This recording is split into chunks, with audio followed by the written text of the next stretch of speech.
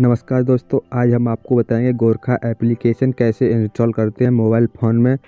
दोस्तों, वीडियो अच्छा लगा तो लाइक करना और चैनल को सब्सक्राइब करना ना भूलें। चलिए दोस्तों, वीडियो स्टार्ट करते हैं। वीडियो स्टार्ट करने से पहले आपको मोबाइल फ़ोन का डाटा खोलना है। डाटा खोलने के बाद आपको प्ले स्टोर में चला जाना है दोस्तों। चले जाने के बाद आपको सर्च करना है गोरखा एप्लीकेशन। सर्च करने के बाद कुछ इस तरीके से एंटर शो होगा। दोस्तों, इंस्टॉल कर देना है। दोस्तों, ये चंद ही मिनटों में डाउनलोड हो जाएगा आपके मोबाइल फ़ोन में। डाउनलोड होने के बाद आपको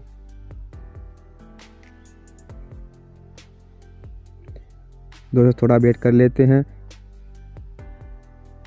चलिए दोस्तों, मेरे ओपन का शो कर दिया, ओपन हम करते हैं दोस्तों, यहाँ से ही।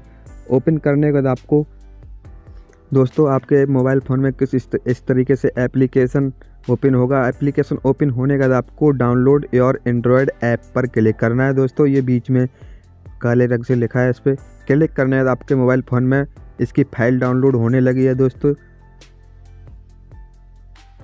फ़ाइल डाउनलोड होने के बाद आपको अपने फ़ाइल मैनेजर में चला जाना है।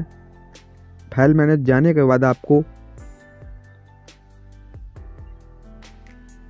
दोस्तों, फ़ाइल मैनेजर ओपन होने का कुछ इस तरीके से एंटर्स होगा। दोस्तों, पहले नंबर पर आपको दिख रही होगी, Gorkha one A P K file. इस पर क्लिक करना है दोस्तों आपको।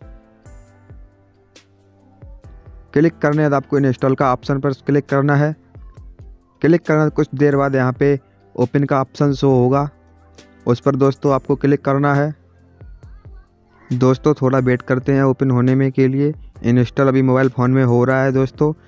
ओपन का ऑप्शन शो कर दिया है उस पर क्लिक करना है। क्लिक करने बाद आपको डायरेक्ट गोरिका एप्लीकेशन पर आप पहुँच जाएँगे दोस्तों। पहुँचने के बाद आपको साइन इन लॉगिन करना, जो भी आपको साइन इन करा तो दोस्तों ऑलरेडी हमारे यूट्यूब चैनल पर वीडियो बना हुआ है दोस्तों, वो देखना और लॉगिन करना है वो भी दोस्तों बना हुआ है।